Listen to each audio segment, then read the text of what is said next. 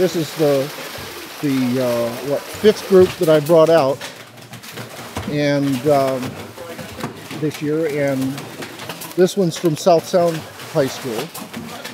And what happens is the the hatchery staff is limited. This is a short period of time job in the, in the, in the fall. Uh, it's an opportunity for the kids to get some practical work experience, and this is Biology 101. The partnership between the Nisqually tribe and the North Thurston School District has developed into a very useful tool.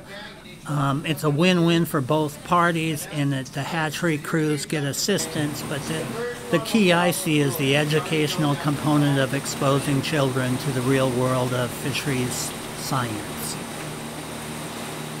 After they leave here, they'll move up to uh, the hatchery proper where they'll mix the eggs and the sperm and put them in the incubator.